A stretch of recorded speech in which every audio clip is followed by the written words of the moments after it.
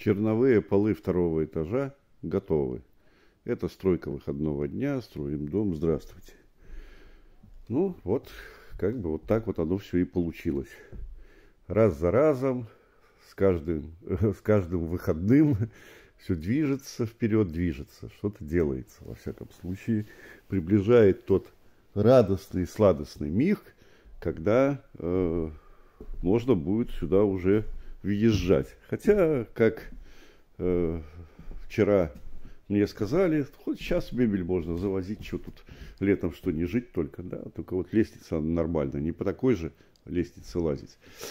Да, ну как-то вот, вот, вот так. А так, мне, мне самому нравится во всяком случае.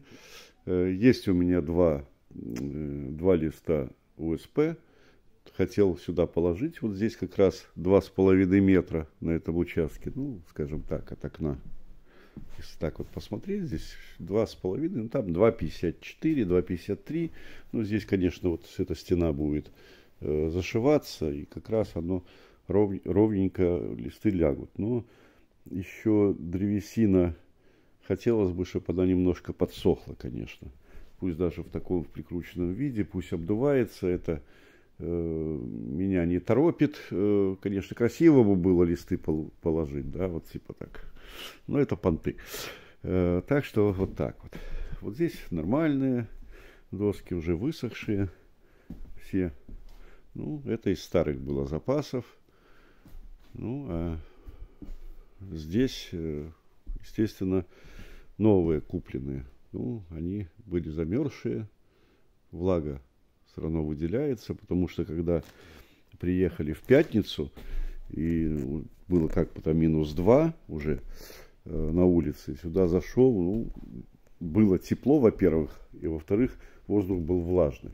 Поэтому вчера я целый день проветривал.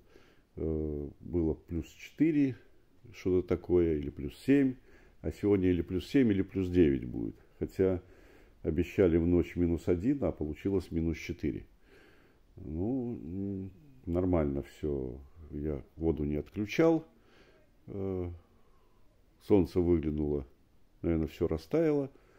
Э, но вчера, когда мылись в бане, немножко э, была какая-то проблема, что не было, начало, наверное, подмораживать, и давления не было, поэтому я по чуть-чуть воду открыл, она минут пять по чуть-чуть пошла, пошла, пошла, и потом прорвала это все дело, и грубо говоря, вода пошла.